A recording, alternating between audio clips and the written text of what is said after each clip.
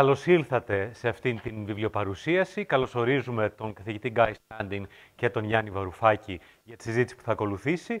Παράλληλα, η εκδήλωση αυτή είναι και η πρώτη βιβλιοπαρουσίαση μιας συνεργασίας που θα γίνει ανάμεσα στο, στο Κέντρο Μετακαπιταλιστικού Πολιτισμού και στις εκδόσεις Τόπος για μια σειρά από βιβλία. Ήδη εξεδόθη το Πρεκαριάτο, το οποίο ήδη μπορείτε να βρείτε κιόλας στον ε, πάγκο απ' έξω και το No Bosses του Michael Albert και έπεται συνέχεια με μια σειρά από εκδόσεις. Θα ζητούσαμε μια, έναν σύντομο χαιρετισμό από την πρόεδρο του ΜΕΤΑ, Δανάη Στράτου, και τον εκδότη Βαγγέλη Γεωργακάκη. Και μετά θα έχω εγώ περισσότερες εισαγωγές. Ζητώ συγγνώμη γι' αυτό. Καλησπέρα. Είναι για τη μετάφραση που χρειαζόταν το μικρόφωνο, όχι επειδή δεν έχω δυνατή φωνή.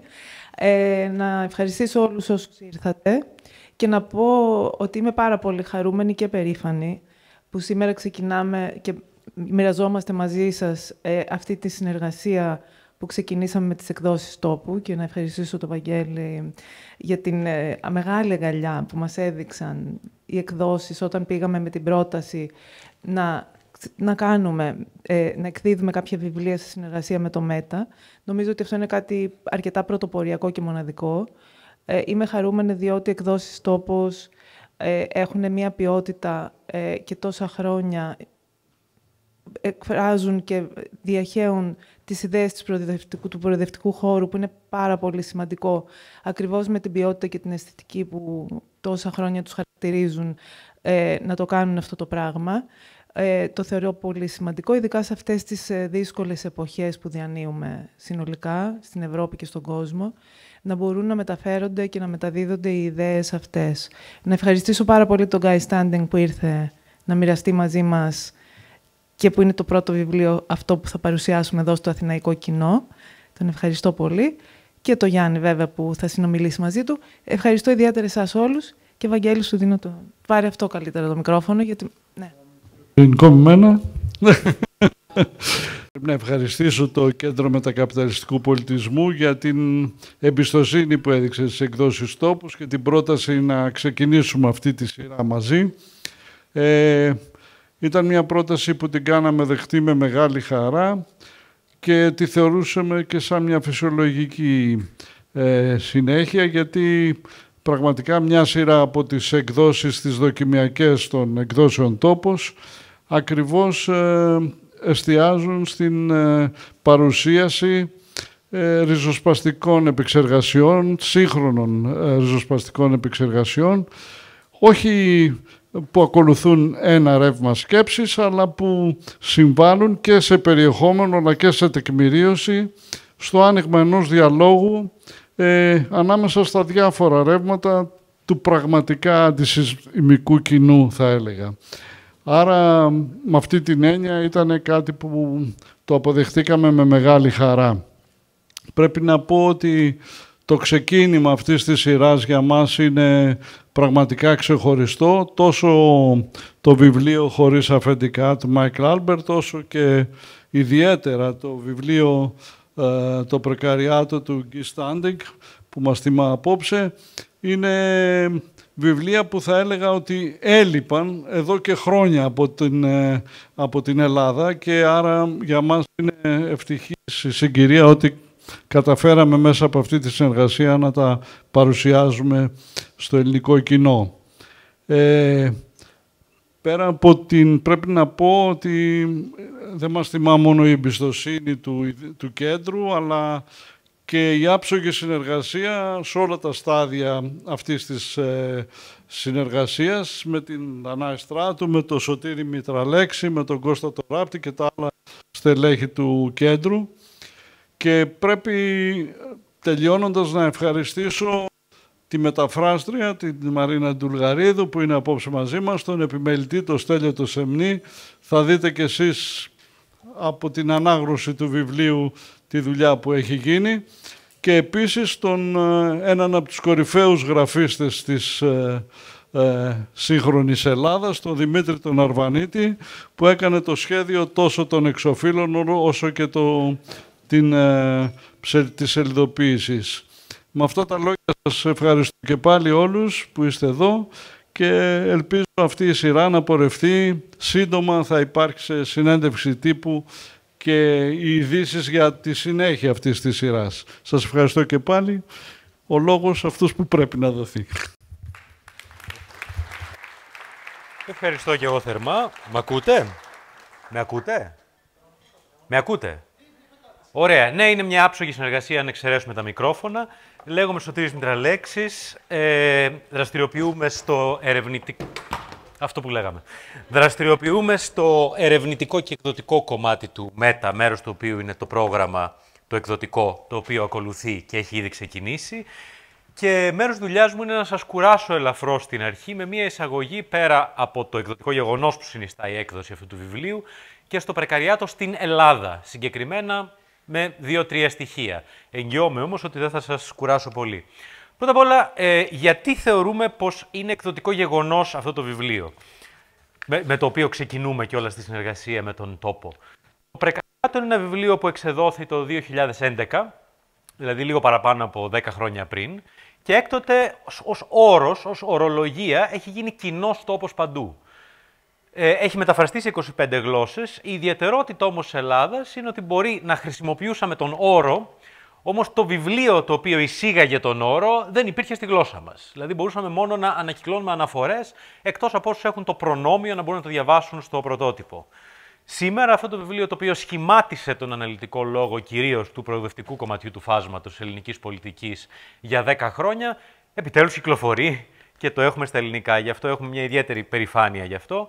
Στο τέλος ο συγγραφέας θα υπογράψει βιβλία, οπότε αν θέλετε ένα αντίτυπο, ε, σήμερα ειδικά οι εκδότες το δίνουν στην τιμή των 15 ευρώ και βρίσκεται στον πάγκο έξω.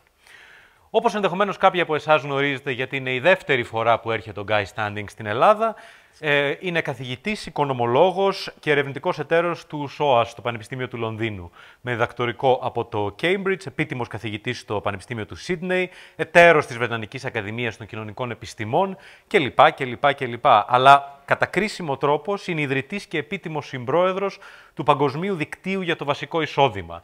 Και αυτό το λέω διότι, spoiler alert, στο πρόβλημα που συνιστά το πρεκαριάτο, μία πιθανή λύση ακριβώς είναι το βασικό εισόδημα και όλη η δουλειά που έχει γίνει για να υπογραμμιστεί και να καταδειχθεί το ρεαλιστικότατο αυτής της ε, ελπίδας. Ε, πέρα από το πρεκαριάτο, άλλα βιβλία του ε, περιλαμβάνουν το The Corruption of Capitalism, το βασικό εισόδημα και πώς να το πετύχουμε που έχει εκδοθεί στα ελληνικά και το είχαμε παρουσιάσει πέρυσι, την λαιλασία των κοινών, το Plunder of the Commons, και πρόσφατα ένα βιβλίο που ελπίζουμε κάποια στιγμή να το δούμε και στα ελληνικά, The Blue Commons, Rescuing the Economy of the Sea, τα γαλάζια κοινά, διασώζοντας την οικονομία της θάλασσας. Μπορείτε φαντάζομαι να υποπτευθείτε την ε, επικαιρότητα ενός τέτοιου βιβλίου. Τώρα, ως προς το πρεκαριάτο, αν και θα μιλήσουν σαφώς αρμοδιότεροι, ε, είναι ένας νεολογισμός για μια κοινωνική τάξη η οποία δεν είναι απλώς προλετάρη ή απλώς επισφαλής εν γέννη, ε, αλλά είναι ακριβώς μια συνθήκη πλήρους αβεβαιότητας στην έβρεση εργασίας και σε χίλια άλλα πράγματα που διαχέεται σε ολόκληρη τη ζωή τους, τη ζωή μας ε, και δεν επιτρέπει να υπάρχει αυτό που θα ονομάζαμε εν τέλει σιγουριά και ποιότητα ζωής. Και ο κίνδυνος μιας κακώς νούμερης νοούμενης ριζοσπαστικοποίησης μιας τέτοιας τάξης, χειραγωγούμενη από συγκεκριμένες πολιτικές δυνάμεις, πάντοτε μένει ισχυρός. Από το βιβλίο, της σελίδα 55, βρίσκουμε μια σειρά από τρόπους ασφάλειας μιας δουλειάς που καταρρύπτονται σήμερα. Όταν κάποιος δουλεύει σεζόν, όταν κάποιος δουλεύει σε μια δουλειά για δύο μήνες και πρέπει να κάνει αίτηση για την επόμενη, όταν κάποιος είναι νέος ακαδημαϊκός και δουλεύει με εξάμηνα και πρέπει να κάνει αίτηση για την επόμενη δουλειά κλπ. κλπ, κλπ. και αν την αποκτήσει, πάντοτε υπό το φάσμα του ενδεχομένου κάθε πρεκάριος να βρεθεί χωρίς δουλειά, χωρίς βιοπορισμό μεθαύριο, με ό,τι αυτό σημαίνει για το σήμερά του, ακόμα και αν στο σήμερα έχει μία κάποια δουλειά, ένα κάποιο εισόδημα. Έχουμε την ασφάλεια της αγοράς αμοιβόμενης εργασίας, ασφάλεια απασχόλησης, ασφάλεια θέσης εργασίας, δηλαδή ικανότητα και ευκαιρία για διατήρηση του πόστου, η ίδια η ενστενή ενία ασφάλεια της εργασίας από ατυχήματα κλπ. κλπ, κλπ. Η ασφάλεια ενίσχυσης δεξιοτήτων, ότι βρίσκομαι σε μια δουλειά που κάπως βελτιώνομαι, κάτι αποκτώ, κάπως γίνομαι πιο χρήσιμος. Η ασφάλεια εισοδήματος, επαρκές, σταθερό και κάπως ικανοποιητικό εισόδημα και η ασφάλεια εκπροσώπησης, η κατοχήρωση συλλογικής εκπροσώπησης στην αγορά εργασίας. Όλα αυτά δηλαδή που οι πρεκάριοι δεν έχουν, όλα αυτά που η Ελλάδα δεν έχει, όλα αυτά που εμείς το πρεκαριάτο δεν έχουμε. Ε, ως προς τον όρο επισφάλεια, precarity, έχει τη δικιά του ιστορία, δεν είναι της παρούσης. Μάλλον πρωτοεισήχθη από έναν καθολικό μοναχό που είχε προηγουμένως δραστηριοποιηθεί ως αναρχοκομμουνιστή, όπως είναι εύλογο και αναμενόμενο, και κατεγράφει από την Dorothy Day. Αλλά το πρεκαριάτο ως πρεκάρι και προλεταριάτο είναι η πρόταση του Guy Standing που βρήκε ζηλευτή υιοθέτηση έκτοτε. Ε, μιλήσαμε για τρόπους επισφάλειας. Ας μπούμε όμως και λίγο στο ζήτημα του μνημονίου και της δικής μας εμπειρίας ως Ελλάδας. Πρώτα απ' όλα, τι σημαίνει ασφάλεια, εργασία με την ώρα, με συμβάσεις ορισμένου χρόνου, αδήλωτα και χωρίς κοινωνικοασφαλιστικά και συνδικαλιστικά δικαιώματα. Στην Ελλάδα, ιδιαίτερα στην εστίαση, στο εμπόριο, στις υπηρεσίες, το οκτάωρο γίνεται το δωδεκάωρο ή και παραπάνω, το πενθήμερο κόβεται σε τετραήμερο με μειωμένες αποδοχές και φυσικά μνημόνιο χέρε, οι ατομικές συμβάσεις αντικαθιστούν, αντικαθι, ε, αντικαθιστούν τις συλλογικές συμβάσεις. Η εντατικοποίηση δυναμώνει και η ευελιξία συνεργασία γίνεται το καθεστώς. Κάποιοι από εσάς με δυνατή μνήμη θα, θα θυμόσαστε την Άννα Διαμαντοπούλου του Σοσιαλιστικού Κόμματος να μιλάει για ευελφάλεια, δηλαδή ευελιξία και ασφάλεια. Λοιπόν, με τη μνημονιακή δεκαετία, θυμίζουμε ότι αυτό το βιβλίο γράφτηκε πριν αυγα πριν οριμάσει η μεγάλη κρίση που ξεκίνησε το 8 και στην Ελλάδα μεταφράστηκε σε μια δεκαετία μνημονίων. Γνωρίζετε πως μειώθηκαν βία οι αποδοχές των μισθωτών, καθιερώθηκε ακόμη και ο υποκατώτατος μισθός, καταργήθηκε ουσιαστικά το μεγαλύτερο μέρος των ρυθμίσεων για συλλογικές διαπραγματεύσεις κλπ. Ήρθαν περιορισμοί στην εργασία για την Κυριακή και πολλά πολλά άλλα. Από το Σεπτέμβριο του 2015 και μετά, η ιδέα κυβέρνηση ΣΥΡΙΖΑ συνέχισε με ανάλογες πολιτικές και το μόνο που δεν είδαμε ήταν αντιστροφή των νέων δεδομένων. Τώρα για την επισφάλεια στην Ελλάδα αλλά και για το πρεκαριάτο συγκεκριμένα, ευτυχώς έχουμε πολλές μελέτες, ακόμα και αν μέχρι σήμερα έλειπε το βιβλίο. Τον Κακουλίδου, Κορφιάτη, Μελίδη, Τουρτούρη, Σαριδάκη, Παπαδάκη, συγγνώμη πρέπει να το πω γιατί κάποιοι άνθρωποι εργάστηκαν πάνω σε αυτές τις έννοιες και αυτά τα προβλήματα ε, Γιανακοπούλου, Καραλή και πολύ πρόσφατα το 2022 το βιβλίο του Ιωάννη Κουζή «Η μεγάλη εργασιακή απορρίθμιση, τα 30 και χρόνια προς το ευέλικτο τύπο», πάλι εκδόσεις τόπος πρέπει να πούμε. Στην ελληνική περίπτωση, τα ποσοστά προσωρινής απασχόλησης έχουν σημειώσει άνοδο της του 30%, οδηγώντας τη χώρα στην πρώτη θέση πανευρωπαϊκά σε σχέση με τα υπόλοιπα κράτη-μέλη. Ε, για τους νέους το ποσοστό αυτό είναι τριπλάσιο σε σύγκριση με τους, να το θέσω έτσι, οριμότερους. Τετραπλάσιο ποσοστό μακροχρόνιας ενεργείας σε σχέση με το μέσο όρο στην Ευρώπη. Και φυσικά οι μερικώς απασχολούμενοι εργαζόμενοι στην Ελλάδα που διατρέχουν κίνδυνο φτώχειας είναι υπερδιπλάσια αν του συγκρίνουμε με τους εργαζόμενους πλήρους απασχόλησης. Στην Ελλάδα έχουμε το πρότυπο της σεζόν, με τον τουρισμό. Σε κάποιες περιφέρειες νησιωτικές, ένας στους δύο ζει με αυτόν τον τρόπο. Πριν τη σεζόν και μόλις τελειώσει η σεζόν, καλή επιτυχία. Αυτό είναι η επισφάλεια, αυτό είναι ο πρεκάριος, αυτό είναι το πρεκαριάτο. Και στην περίοδο 2010-2019 σε όλη την Ευρώπη, τα ποσοστά μερικής απασχόλησης στην ηλικία 15-24, δηλαδή στους νέους, δηλαδή στο μέλλον, είναι μεγαλύτερα σε όλες σχεδόν τις χώρες, με σημαντική διαφορά, τύπου 32% έναντι 18% και λοιπά και λοιπά και λοιπά. Η λέξη είναι μία εν τέλει φτωχοποίηση, αλλά και επισφάλεια, που δεν είναι μόνο οικονομική, δεν είναι μόνο αμυγός μισθολογική, διαχέεται παντού, αλλά θα μας τα πει καλύτερα ο καθήλυν και κατεξοχήν αρμόδιος. Είμαστε ιδιαίτερως ευγνώμονες που έχουμε μαζί τον καθηγητή Guy Standing. Dear Professor Standing, the floor is yours. Thank you very much for your august presence here.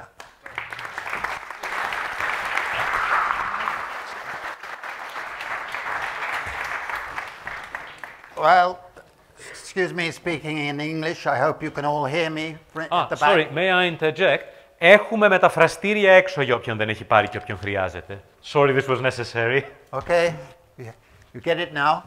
Uh, first of all, Afghanisto for the book. This is the 24th language in which the Precariat has been published. And I must say, this book in Greek looks as good as any of them. I don't know whether it's better translated than the others, but it certainly looks very smart.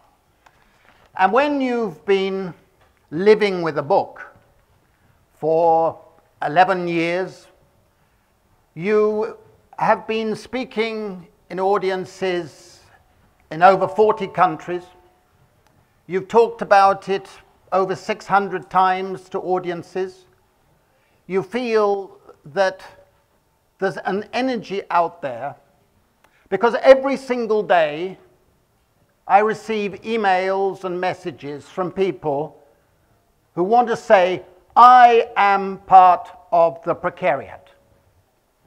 Now, when I first wrote the book, people would identify with it, but they felt like failures. They felt a sense of shame. I'm part of the precariat. But today, there's a difference. Today, you feel that people say it with pride. I'm part of the precariat. And don't muck with me. Because a lot of other people are with me. That is a huge change politically and sociologically. Now, I want to use my time up here to say a little about the context. Because I presume that all of us in this room are on the left politically. We want to see progressive change in Greece, in Europe, in the world.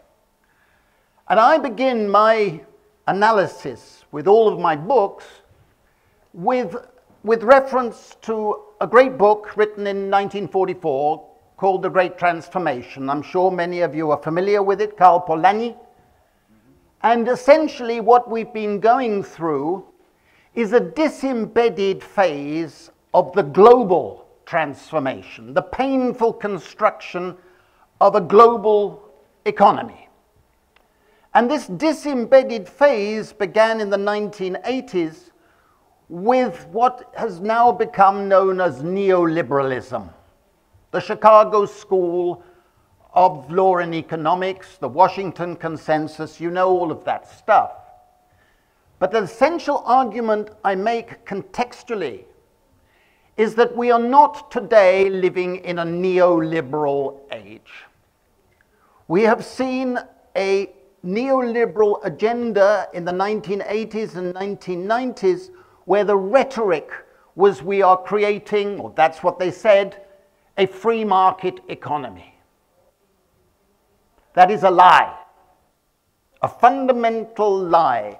We have the most unfree market economy ever constructed today. Now, neoliberalism essentially allowed finance, global finance, based mainly in the United States, but elsewhere in London and elsewhere, to take command of the global economy. And in every sphere, you see finance dominating. In my new book on the blue economy, it's essentially an argument, the extension of rentier capitalism. Rentier capitalism, in which more and more of the income goes to the owners of property financial property, physical property, and intellectual property.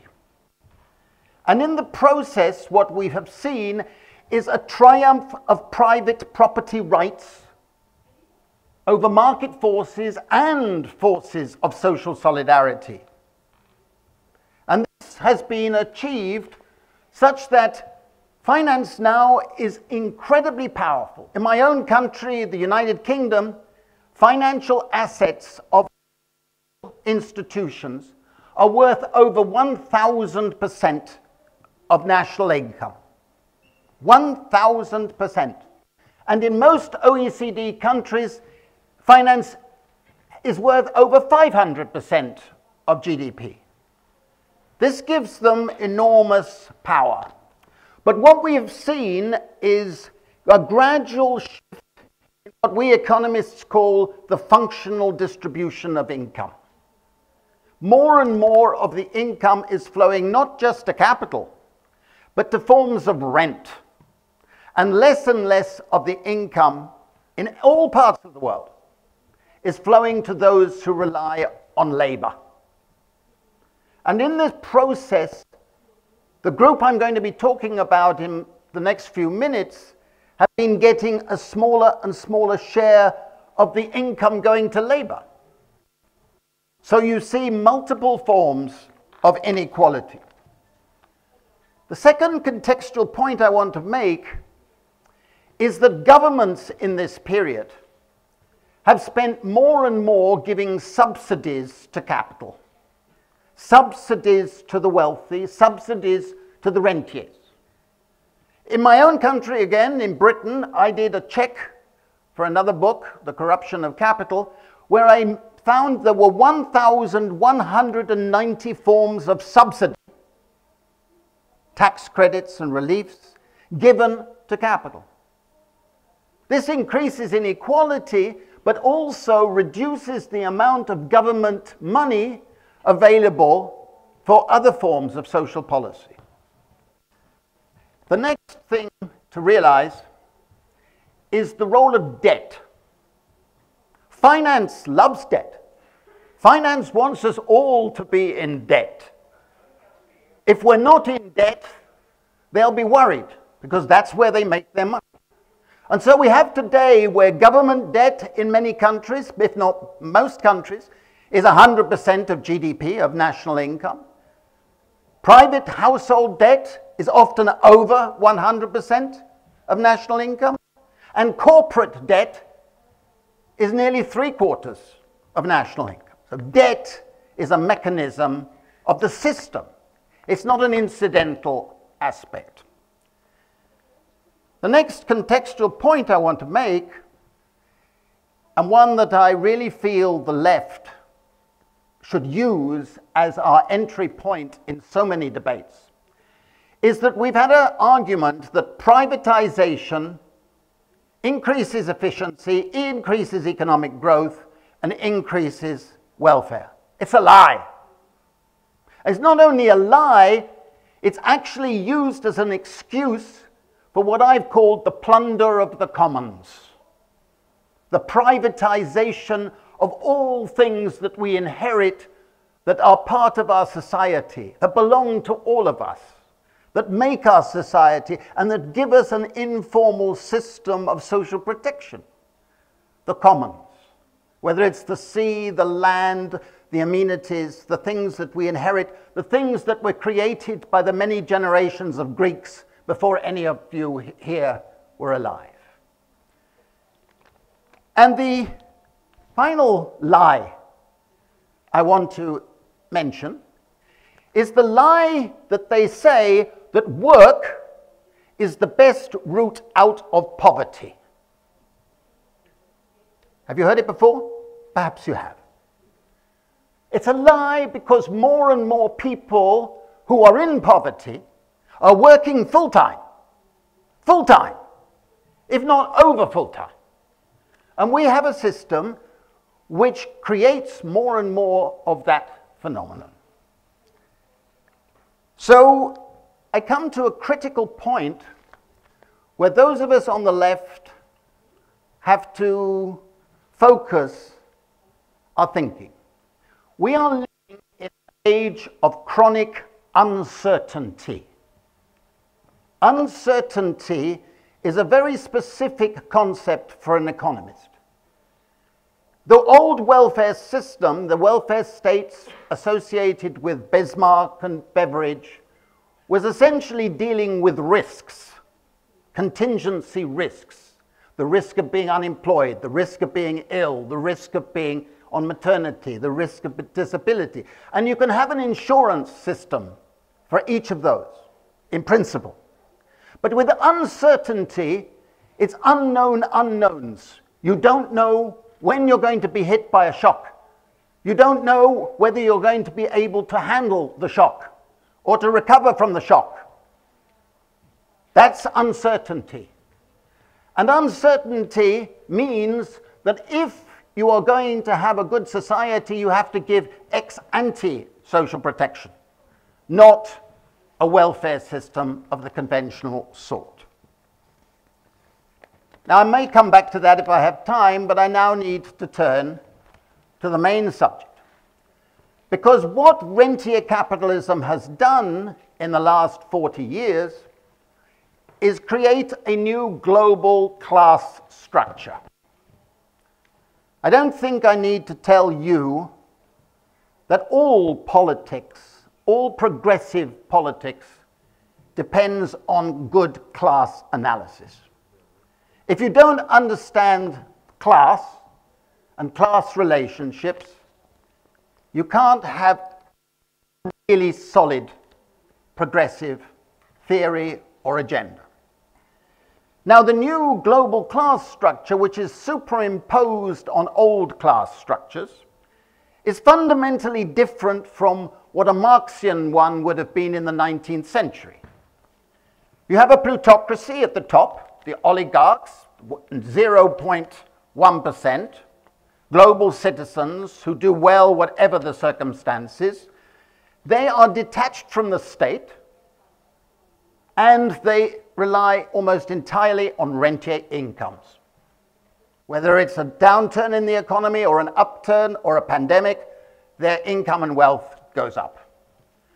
Below them, you have an elite who are essentially the servants of the plutocracy, the multimillionaires, the people who are in revolving doors between politics, finance, big tech, big pharma, who move in and out of political positions, financial positions, and make a lot of money. But they are also rentiers. Below them is a group I call proficians, which is a between professionals and technicians, who are people who are making a lot of money, but they don't want employment. They are make, making a lot of money with their laptops, with their skills, and the rest of it. Their only problem is by the age of about 29, they have burnout and take to opioids and crash in some respect. Below them, in terms of income, is the old salariat. When I was a student learning labor economics in Cambridge, essentially we were told that by the end of the 20th century, everybody in Europe would be part of the salariat with employment security, income security, pensions, paid holidays, paid medical leave, etc., etc. We all know that that's not the reality today. They've been shrinking everywhere.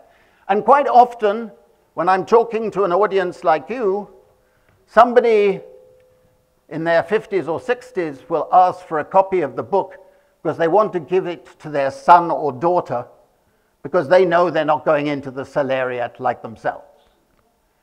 Below the salariat is the old proletariat, the sort of people who would have worked in this factory, who were expected to have stable full-time jobs with a family wage, with non-wage benefits, access to state benefits, access to family benefits and occupational benefits. And they wanted stable jobs, and they were habituated to think of life as being the nirvana if they have full time jobs. But they're shrinking everywhere, and more and more of them are falling into the precariat. And now we come to the precariat. Every class is defined in three dimensions. The first dimension is relations of production which means essentially patterns of work and labor. The second one is relations of distribution, patterns of income, and the third, relations to the state. Now, the first dimension, relations of production, is where most commentators focus all their attention. At least one of you will leave this room this evening and say, Guy Standing defined the precariat as people having precarious work.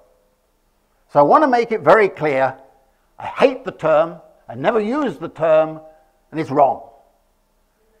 People in the precariat have unstable labor, insecure labor.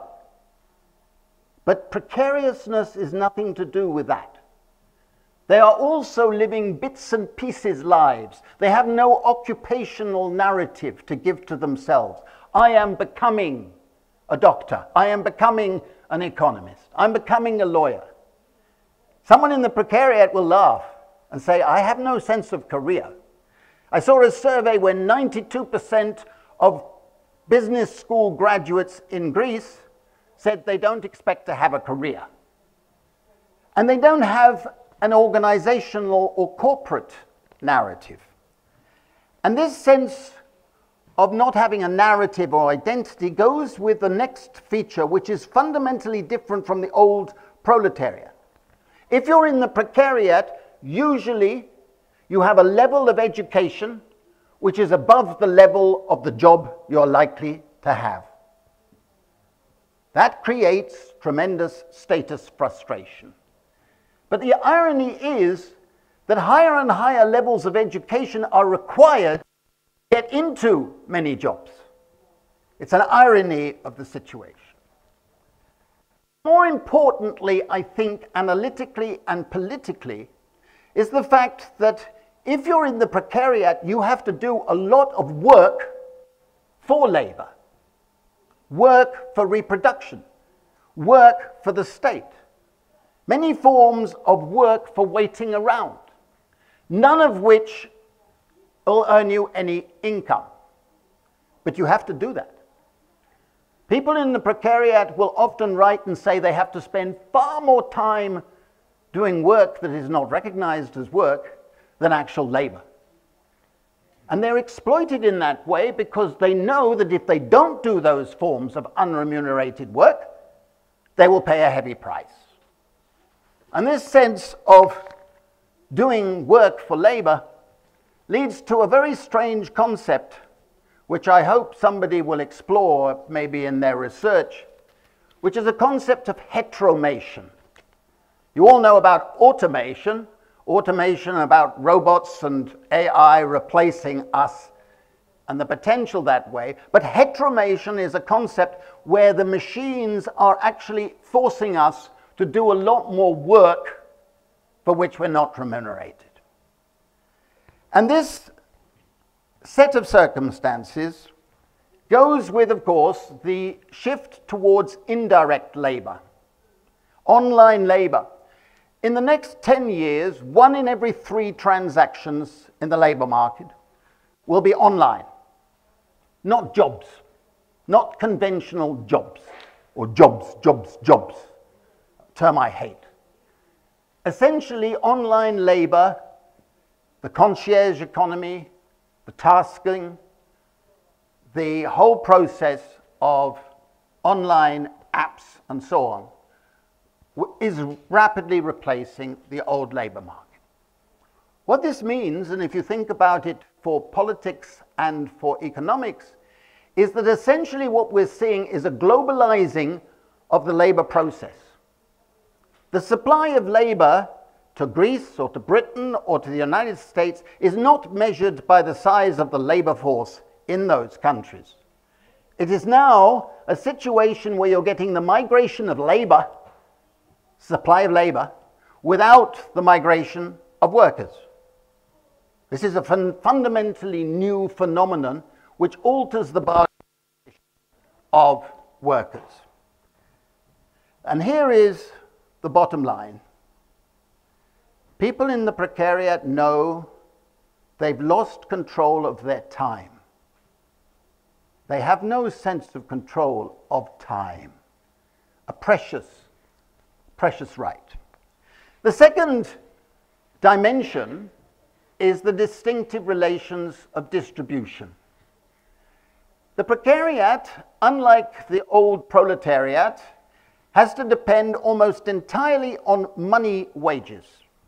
Money wages that are fluctuating and declining in real terms. In addition, they are losing access to non-wage benefits, they're losing access to state benefits, they're losing access to community benefits. And unlike the old proletariat, they're exploited as much off workplaces and outside labor time as inside workplaces and in labor time. And here comes another feature. The precariat is the only class that is systematically exploited by forms of rent and is not earning any income from forms of rent. the precariat lives on the edge of unsustainable debt all the time.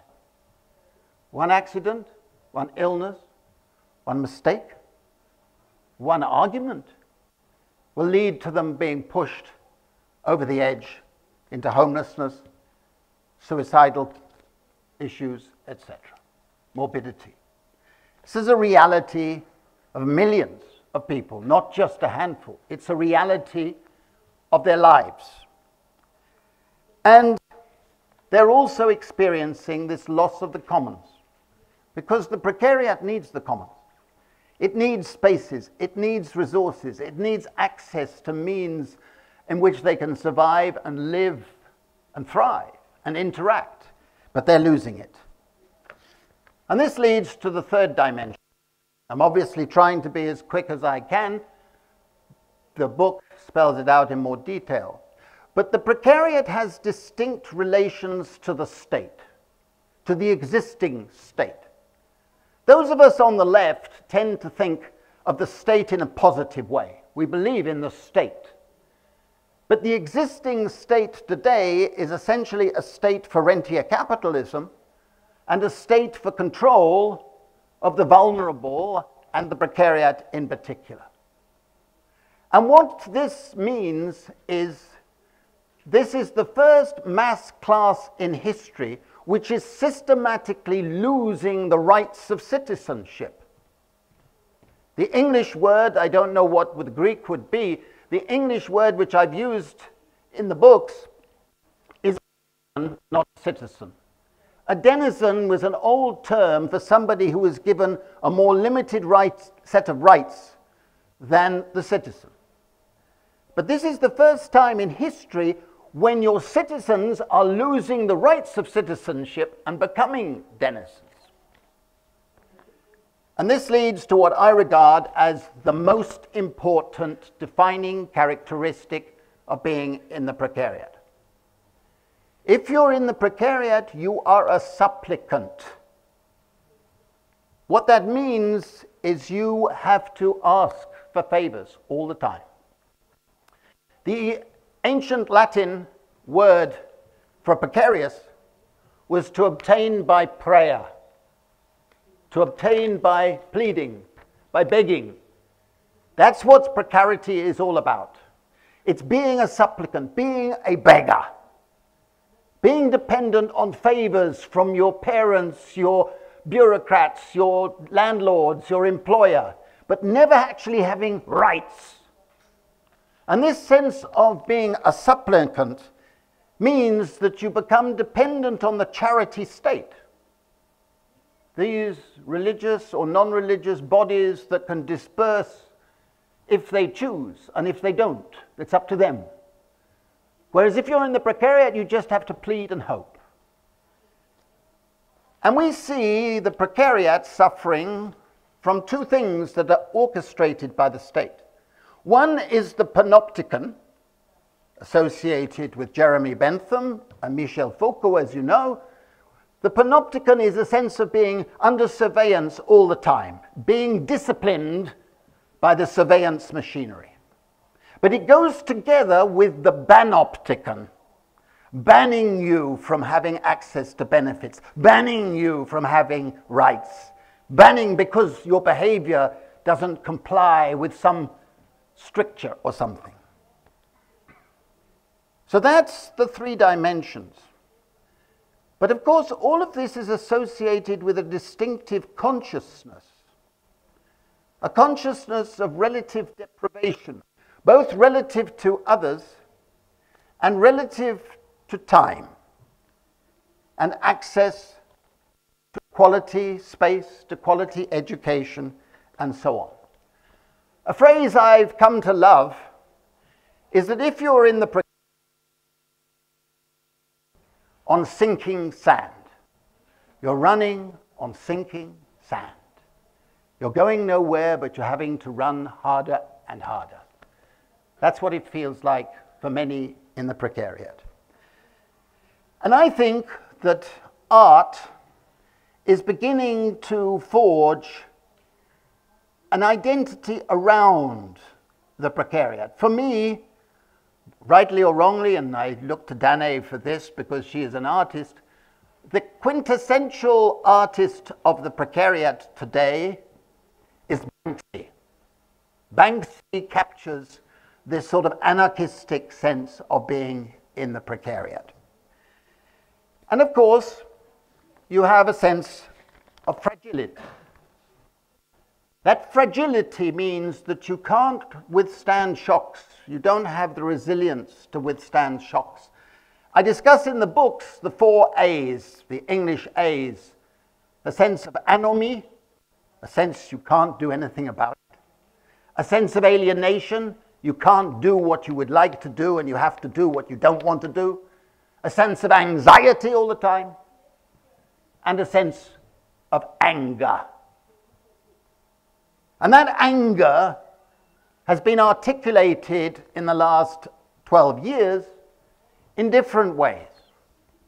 On page one of the book, The Precariat, I say, unless the insecurities and aspirations of the precariat are addressed, we will see the emergence of a political monster. In November 2016, you will not be surprised, I got a lot of emails and calls from people and said, Your monster has arrived. Donald Trump. And it's very interesting because both Donald Trump and Boris Johnson and Viktor Orban and many others, and we've just seen one defeated, thank goodness, in Brazil. I think that's great news. These people play on a class alliance between the plutocracy, coupled with the elite, and what I call the atavistic part of the precariat. People who do not have a lot of education, who fall into the precariat, feel that today is worse than yesterday. They feel they've lost the past. So they listen to the sirens of populism, like the Donald Trump, like the Brexit people, who promise to bring back yesterday. And they support those people. That's the atavistic part. There's a second part of the nostalgics the refugees, the minorities, the disabled, who feel they don't have a present, don't have a today. They don't have a future, they don't have a past, they don't have a today. These people will not vote for neo fascist populists, but they feel disenfranchised. They stay out, they drop out. Many of them do not vote. And then there's the third part, the progressive part of the precariat. This is where we need to pitch our political narrative. The progressive part are those who were sent to university or college by their parents and teachers and promised that if they did so, they would have a future. You would have a career. And they come out with no future, no career. But they also come out knowing they listen to the politicians and they hear no politics of paradise, no alternative future that is being offered, a narrative of conviviality, a narrative that relates to their aspirations, which is not all forms of laborism. It's forms of work and commoning and living and sharing and networking and reviving the commons. They don't see that. And so often they stay out of politics, and we lose because the precariat is internally divided. But here comes some good news. The good news is that I believe the atavistic part of the precariat has passed its peak. Many are getting older and older and older and fading, whereas the progressive part is growing every day energy is related to new forms of agency, new forms of dialogue, new forms of vocabulary. And I believe that this is a source of optimism. When I finished the book, I said to myself, very arrogantly, if you like, I said, if the proletariat had organized a manifesto in 1914 or 1919, what would it have looked like? And if the precariat today were to formulate a manifesto, what would it look like? What would be in it? Would it be any different from what the proletariat had formulated? And I came up with 29 articles in what I called a precariat charter that were fundamentally different from what a proletariat agenda would have been like. And I want to end by saying that while I address these issues in the book, I think the two fundamentals for us on the left, first of all, is to recognize that the income distribution system of the 20th century, the last century, has broken down. We will not see a rise in real wages by very much. We will not see that happen. We have to think of a new form of income distribution. This is why I believe we've got to move towards having basic income as a fundamental right, an economic right, at the anchor of that new system. And related to that is this. We need a strategy and a narrative and a vocabulary for a revival of the commons. I've found that if you're talking to a cross-class audience, people in the precariat, people in the salariat, different age groups, and you start talking about the commons, the things that belong to all of us, that we inherit, that we share, that enable us to do activities that strengthen our solidarity and universalism. You start talking about that, and very quickly you will see a sense of clicking, a sense in which we will have an opportunity to be together, to strengthen that. And I believe that the commons is something that the left should be using to its advantage. And I think it's coming. Thank you very much for listening.